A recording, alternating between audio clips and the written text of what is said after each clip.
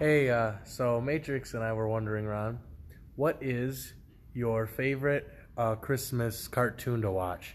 For me, it's always uh, Frosty the Snowman because I don't know, I just I just really liked it as a kid. All right, Justin. Uh, I'm gonna say that my favorite movie is, or my cartoon would be definitely. Uh, I like uh, Rudolph the Red-Nosed Reindeer, the old one. Hey, Merry Christmas, everybody. Uh, hope everyone's having a great Christmas. Um, so, today, for our Christmas edition of the Justin and Ron show, we are going to do things a little bit differently with telling the Christmas story. We're going to tell the Christmas story very briefly, but Justin and Ron show style. Check this out. Hey, Mary, I'm an angel. You about to have a baby. I'm gonna have a baby. So then, Mary and Joseph went to travel to have their baby because they couldn't have it where they were, or Jesus would have been in some trouble. So they went and were looking for a spot, and they went up to an inn.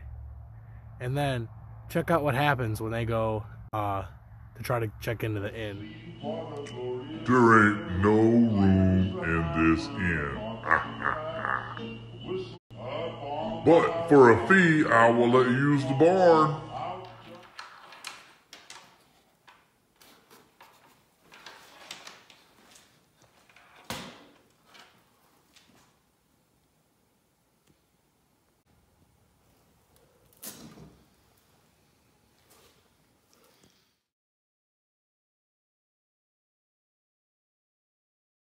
So, did I hear there's a baby?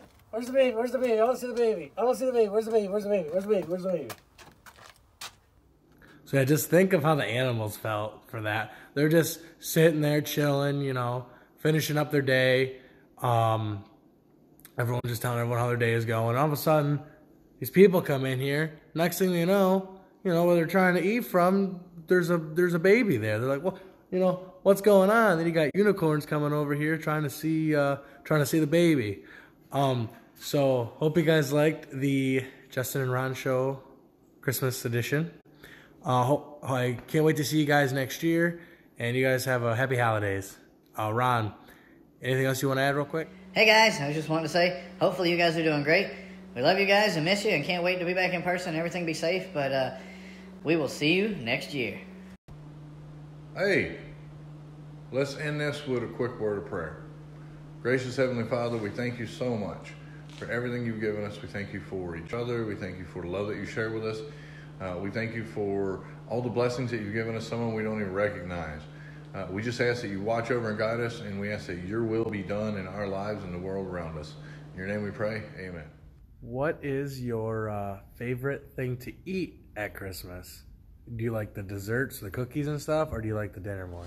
Hey, all right, Justin, that was a great question. Uh, I'm going to say that I actually like the dips and like all the snack foods, like the little rolled up pieces of, uh, you know, deer meat with cheese and stuff like that. Mm, that's what I'm. I'm about that kind of stuff. All the finger foods.